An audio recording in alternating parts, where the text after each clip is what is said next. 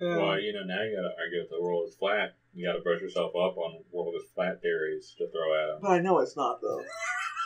I don't know that if you put rocks in a microwave on non-stop, like Mhm. ultra industrial science strength microwave, and left all that shit on for years non-stop, that something might happen to the rocks. I don't know. They superheat because rocks, if you heat them enough, hmm it's just that's not how that's not how the force works. Yeah, it's not a, at some point you'll reach equilibrium where the heat is leaving the microwave as as fast as it's going Oh, that's in. Too bad. So you'll you unless so what if you put them in an oven for a really long it depends on the oven. It depends on the, what temperature rocks melt because I don't know that off the top of my head. you should. You're a scientist. Mm.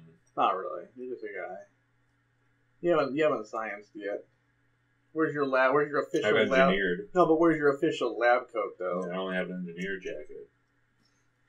Sorry, bro.